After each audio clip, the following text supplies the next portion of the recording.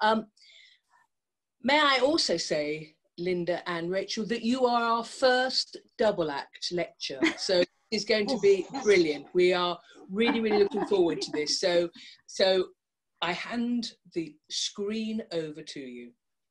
And welcome to the Linda and Rachel show. There's no puppets.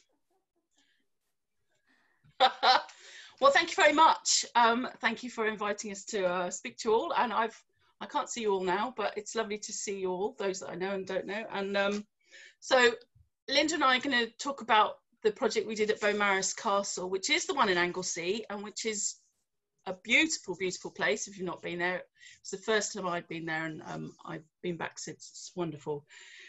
So we thought we'd give a, a brief introduction to ourselves um, and then talk about the project, some of the uh, design approach, the, the issues of making. And then, yes, please, if you've got any questions, do jot them down and write them at the end and uh, hopefully we can answer them. So we've got quite a lot of slides, so some of them will just carousel through um, and yeah, we'll go from there. So just as an introduction, um, Linda and I worked separately as artists for uh, a number of years, and but about eight to ten years ago, we we decided to work together and we formed a creative partnership, and we've worked together on a number of architectural commissions together.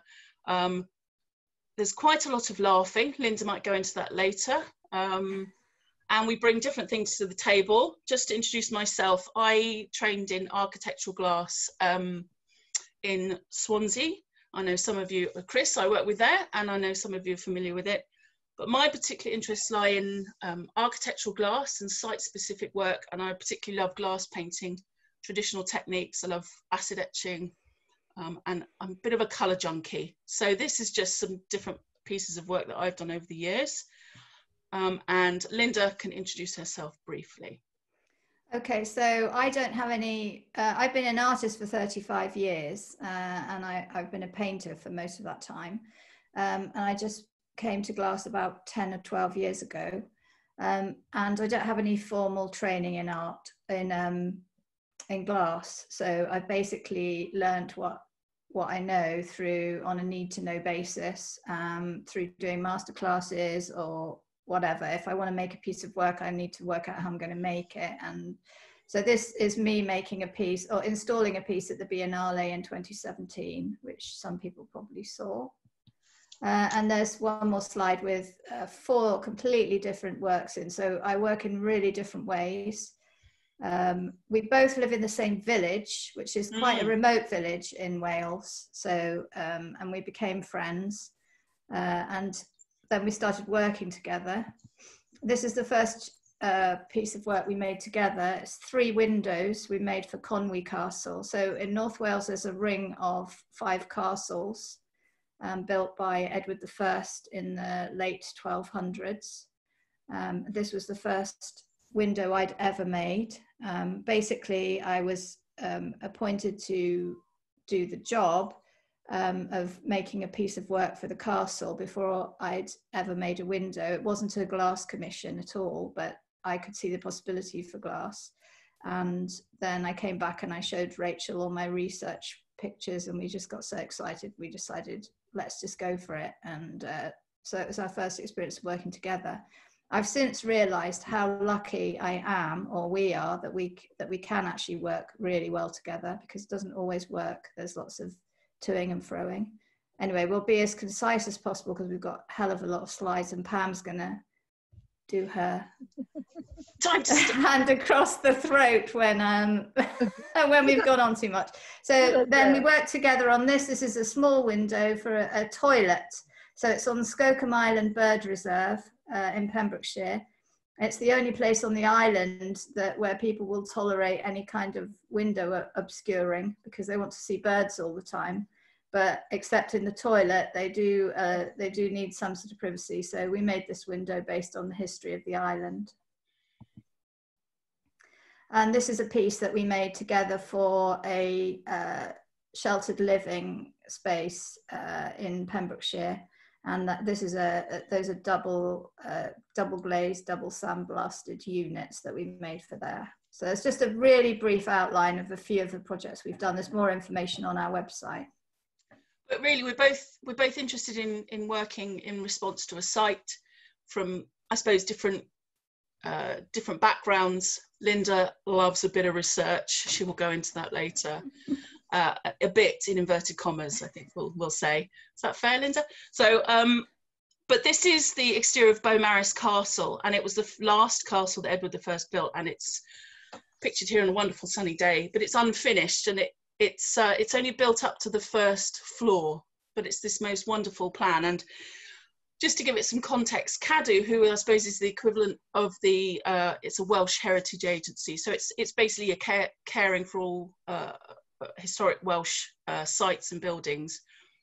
Um, commissioned uh, a number of interpretation works to tell the story of the castle to the modern viewer. And that was how we got involved in Conwy uh, and then in Beaumaris. So the site here is, we were looking at making a work that actually spoke about the makers of the castle. Um, much to Linda's frustration, there were very few artifacts in the castle. I think none would be the summation, or maybe three that are in the local museum. But there are beautiful architectural details still there. So this is the interior of the Royal Chapel that that um, we were looking at, and you can see here three of the windows. There's actually five, and this was on our initial site visit to see the interior and look at the light. And what you probably can just about make out is the windows are set in very deep reveals. In fact, they look shallower than they actually are. They're about six feet deep, those walls. So it was wonderful to go there and experience the castle. And As then, you can see from my Zoom photo, I now live there. yeah, Linda's in the finished work. Um, and also in there was um, uh, some exquisite sort of windows that were it was glazed these were glazed in about the early 20th century so it had plain quarry glazing there. So it was really about responding to the castle and um, we had a track record of putting uh, uh um, a sort of contemporary work into the building in Conwy but in that situation it was made to reference fragment windows and uh, um, have a much more kind of historic look to them.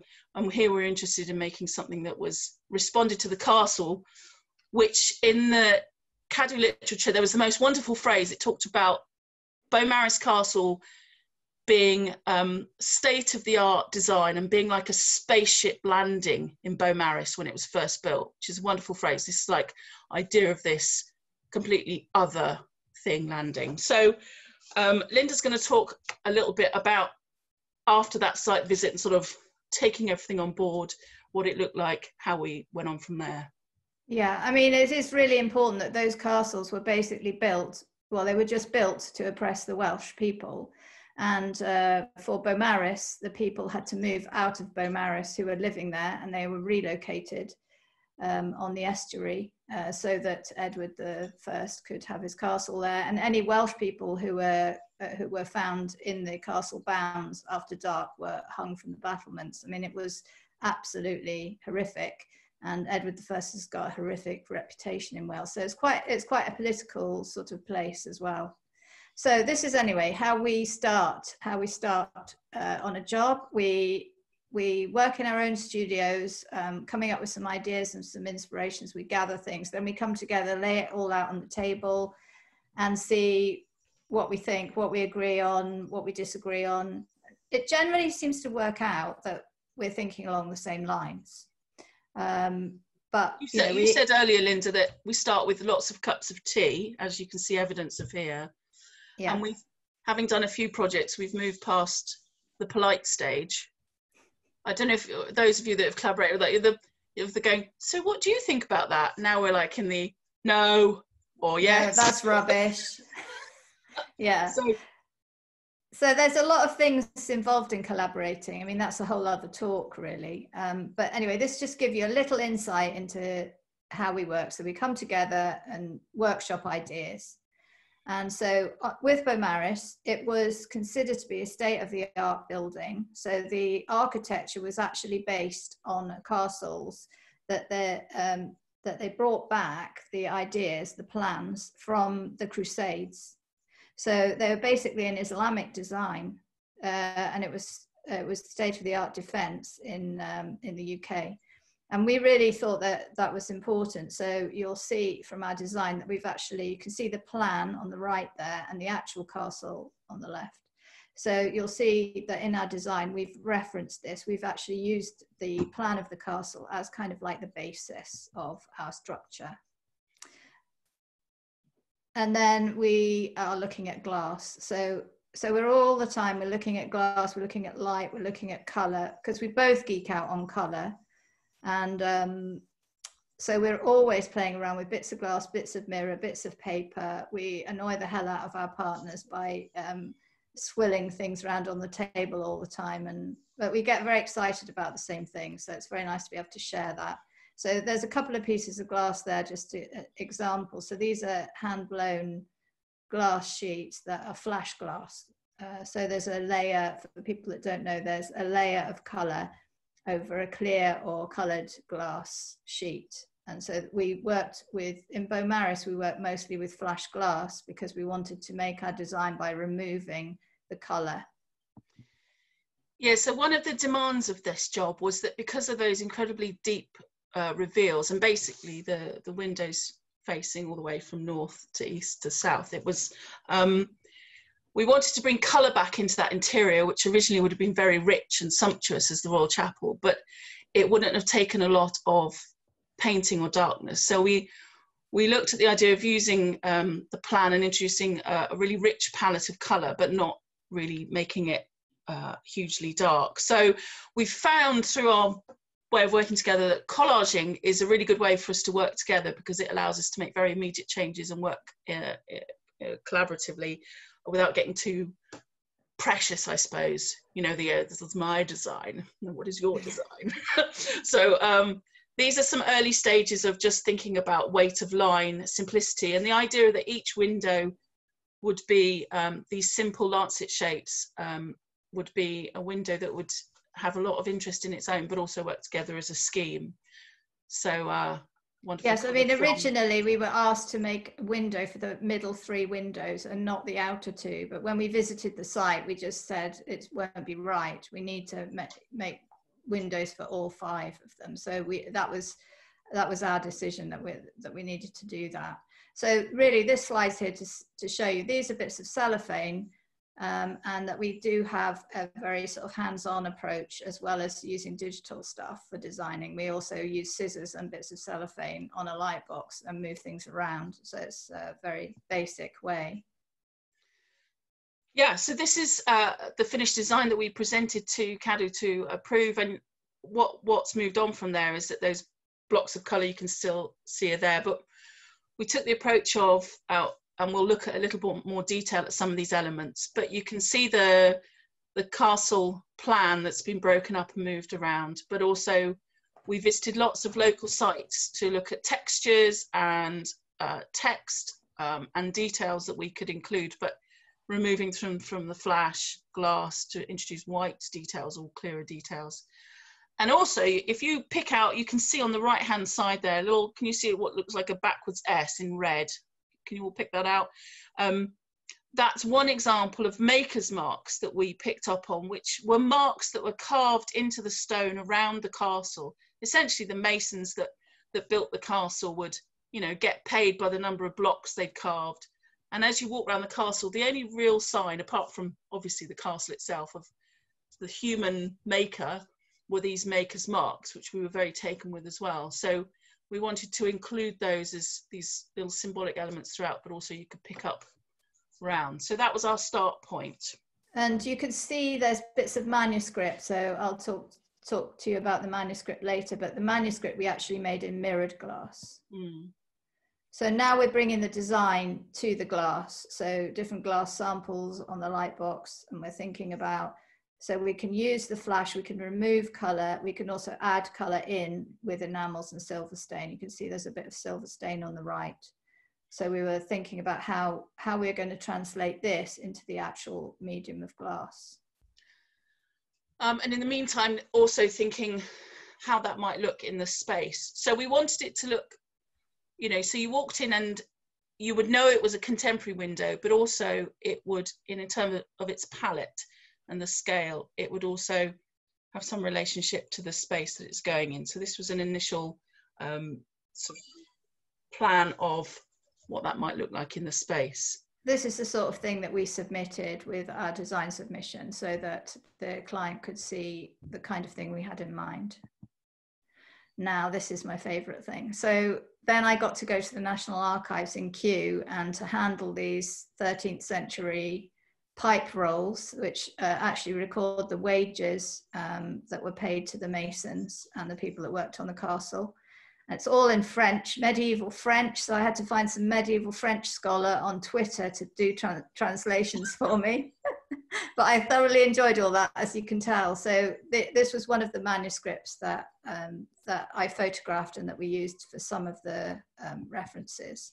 And this was another one. So you've got an early form of musical notation on the right, which was the which was a Welsh musical notation, um, and then on the left you've got the pipe rolls, which is um, listing wages paid to different people. Um, we went to obviously we did site visits, and this is the bottom of a window which is in an abbey near Beaumaris Castle, and it is there are a few pieces of medieval glass surviving in North Wales. Most of them were destroyed during the Reformation, um, but that you can just see that beautiful fish going through the water there, and we absolutely loved it. So that's where he found his way into there.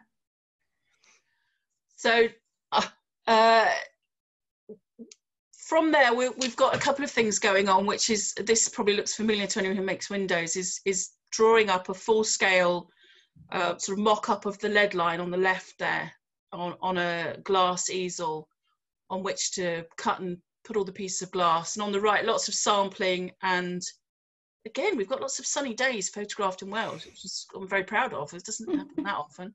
Um, oh, you can't say that this year. Well, not recently, I suppose, not recently. No, it's been uncharacteristically wonderful recently, uh, weather-wise. Weather-wise. But it also gives you some idea of the place we live. Basically, we live in the middle of a field in a very small village so we've got the densest population of glass artists in Wales, I think, in my clock. yeah, probably. Um, and because of the time scale, we decided to divvy work up a little bit. So I, once we decided on the palette of the glass, I cracked on with choosing and cutting all that and Linda worked a lot on files and one thing we wanted to do was alongside um, these are some test pieces for coloured enamel so we decided the only real modulation we wanted with painting was color onto color to rather than you know the more uh, typical monochrome paint colors to to to uh, do some of the trans um, translations from one color into another modulation across pieces so and stain so these are some of the colors uh, with with test pieces of those enamels just to get a sense of them but the other thing we're keen on doing is is trying different techniques um, in these windows. So Lynn's going to wear this. So this I absolutely loved. I was using a photographic resist, so I got really into coins. You can see it really suited my nerdy thing. And I bought some coins, some Edward I coins, silver coins on eBay, and then I photographed them and I made digital files of them made for so what you can see on the left that's just a photocopy so what we had done is we've got the easels up and we cut out the bits that we wanted out of photocopy and stuck them on so we could see how it was all coming together and on the right you can see that's the piece of glass which I'd made a photographic resist and then sandblasted away the blue leaving the pink behind uh, to represent that coin so it really sings out so we're really interested. Sorry, Linda, can you go back to that one quickly? Yeah. So we're interested in that relationship, which is so these are really the only artifacts as alongside the castle of the people who made it. So the the money they were literally the money they were getting paid. You can see it superimposed on one of those uh, manuscript pieces. Yeah. Which uh, the other fine thing we found out was that Beaumaris is the most well equipped toilet wise uh, amongst the Welsh castles. They were very proud 16 toilets, ladies and gentlemen, in that uh, castle. And what was it? Um, some of the manuscript was about blockages. Oh yeah, so nothing changes. Right. Nothing changes. I thought the manuscript was talking about the windows. I was so excited, and it turned out to be about the blocked toilets. But we put that in anyway because we thought that was quite amusing. So there's a lot of things that you can actually look into and find in the windows, but also it's it's also pattern. But uh, also there you can see on the right hand side that we use some bits of uh, machine glass as well as the uh, handmade and the antique glass and the mirrored pieces. Um, so, so we wanted to make it contemporary. So those, all of the machine made glass, the clear textures are used in the castle walls. We wanted this idea of that the castle was this, this other thing that came into the, the medieval landscape. Yeah. Well, I think we need to speed up. Okay, right, we'll speed up. Right, so uh, we, we bought a, a plotter. So Rachel and I, we buy equipment together and we share everything.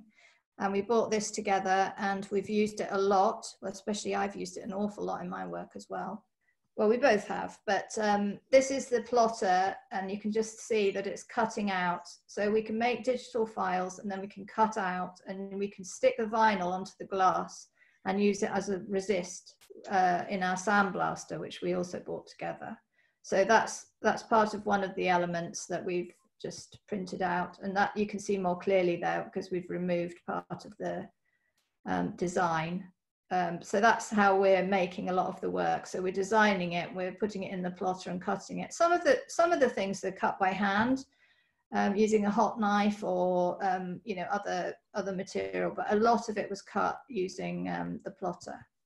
And there's some more plotter samples. So we do a lot of samples, a lot of tests, and work out how things are going to go, which way around we want things to go, and just thinking it all through. And here you can see um, this is mirror, and we've here we've stuck the um, vinyl on and pulled off the background and left the letters on so that when we sandblast it, the letters are silver and the background is um, slightly opaque, clear glass. And that's me sandblasting some of the pieces and then just playing around in the studio basically. Um, so you can see in the background, we've got the easels are up there. So everything is stuck on with blue, with um, plasticine. So we can see what we're doing. And again, another, another shot of the sandblaster with some samples. And there's a finished piece of the um, silver work. So all of the sandblasting we did was fire polished. One to give re-give it a glossy surface so you wouldn't get loads of dirt going into it, but also to clear it back out. And you can see some of the manuscript there. I mean, I, I love the the hand mark and painting and that kind of direct um, yeah. interaction with the material. But for the particularly for things like the manuscript, it was fantastic because the scan and the plotter cut really kept the character of those letters without it becoming something else again. So uh, yeah, that was a lot of the firing that was done for it. Yeah, that's Rachel's uh, pizza kiln, so things, she yeah. can, uh, you know, get four layers of glass in that at once. Uh, and these are the water jet cut pieces um, that we cut in Swansea, and those are all the maker's marks. So those were bonded on, um, and that's the water jet cutter it was interesting last week the talk about you know sort of accessing facilities and working with other people and doing work that you couldn't necessarily do at home. Um, you know this was an interesting way to have an element of that. And also we didn't want to have you know typical of a lead you know a stained glass window is that lead line is to have these makers marks kind of have a different character within the window. So they were all bonded cut on the water jet cutter which is this high pressured jet of water with abrasive um, and then bonded onto the the windows um, and then running designs through um, consecutive pieces of glass in the studio. And it was great having it all up and sort of judging it as it goes along on the easels. Yeah. You can see there are bits of, uh, still bits of glass and paper being collaged um, in the studio. Yeah, so we could modulate the light, we could change the color. We actually, in order to get some sort of effect, there are some very unflattering photographs of us lying on the floor. looking up at the easels to try and imagine what it's like if you're standing on the floor and looking at the window. So this is a photo that my daughter took of us working in the studio with the, all the all the panels put together there. And then obviously once once we'd done all the surface techniques we wanted was to lead it up. So using um, a variety of lead widths to give different emphasis to the pieces. Oh, sorry. It's all right. Um, and you can see some of those fire polished elements to it. Um, if you scroll along again. Yeah. And, uh, um, and one of the elements we haven't talked about was um, we also uh, included some specially written text in the window. Um, we asked the poet Damian Walford Davies to write uh, some poetry for this, which we also included in the Conwy window. Um, so again, a sort of a site-specific response. And in the next image, you can see some of that poetry. I think you've got the verses with you there, so you can see. Yeah. Yeah. So he wrote. Uh, he wrote some uh, some poetry, some verses in English and in Welsh um, about basically about the building of the castle in the landscape. So uh, on a fair, we, we, can tell you about. So this is called yes, on a fair marsh, Spanish honey and Gascony wine. Um, so we these these were words of his that we included. Because that's and now, means this is like means a fair marsh. Yes. So um, and then just moving on to fitting. So we work with a team from um, the Architectural Glass Centre in Swansea who fitted work for me before. Um, this is us on site on the scaffolding. Just have a look at those reveals. Um, yeah, they're deep. very, very deep reveals deep. there. They're lovely. So this is Owen um, holding up panels. And um, in Conwy, um, we fitted the windows uh, on the inside of the existing glazing. In this situation, in consultation with Cadw, the original glazing was actually removed because it was uh, fairly, well, pretty contemporary and in a poor state of repair. And these were actually fitted into the original groove, which was amazing. But um, there were restrictions on how that had to be done. So it was amazing that they allowed us to actually do it. I still can't believe they allowed us to do it. I mean, this is uh, Rachel's husband, Carwyn not destroying a medieval castle. No. A, it, it's a World Heritage Site. Um, but obviously, we were very careful and we marked everything out. We only joined things in mortar joints. Um, so there's, a whole, there's, to, there's, there's, a whole, risk assessment risk and process. method statements for yeah. everyone, anyone gets a bit sweaty. Um, yeah. And fixing into mortar joints. Yes, then, it all has to be approved by the historic buildings people before we can go ahead. Um, but it yeah, was so. wonderful to even at this stage to see this color this kind of rich color coming back into this space this lime wash space um, and seeing just as it started to cast light as well um, and see it actually make that move from what we've designed and envisaged back into that space. So if we just scroll through these so you can see um, this is just various shots of us uh, fitting and mortaring and cleaning. So you can see a nice detail there of one of those bonded maker's marks in the middle of that green field of, uh, it's taken from a medieval tile pattern from a yeah. local church, some of that text, which is all being um, sealed as well. So, and then the, um, the Billy bonus, I like to call it, the added extra when you put a window in, which is when it starts to work with light and starts to do things that you could never have, you know, done yourself that extra aspect so the lights start coming through off the reveals it's and, really um, exciting because we spent a lot of time considering how the light um, goes around in the building in different seasons and which side would be darker and how we had to modulate the light for each window and that's all like the theory of it with the compass and everything but then when you actually put it in and you can actually see the color um, transforming the building it's really really exciting So there's a couple, there's a few slides of close-ups of the work. Um, and then uh, the one on the right is when this when we still had the scaffolding up and I went in and took some shots, um, which is why there's boards there. But the one on the left is the same window without the boards. And these are our... Just some shots we took there. And then once the scaffolding, um, and you can see them sort of as individual lights. And then once the scaffolding came down, you could see them in the chapel interior, which is a beautiful space in and of itself. And there's this amazing, yeah. We wanted to, I think, give a boldness and a strength and a richness to it that didn't sort of overwhelm the chapel, but also spoke of that that idea of it being a the castle being this contemporary, quite shocking space, sort of building in its context. And then um, this slide's for Alison. no, we um, we had an opening and we had this lovely young harpist who came and played because the acoustics in those chapels, when you go in there, if you if you sing in there, you really know that they knew how to build a building because the, it's incredible the acoustic in there. So it was lovely when she came and played the harp. So this was at our opening. And that was us all in our glad rags after months and months of work. But it looks like we made it in five minutes, but there was a lot, a lot we missed out. Thank you very much for listening. Thank you.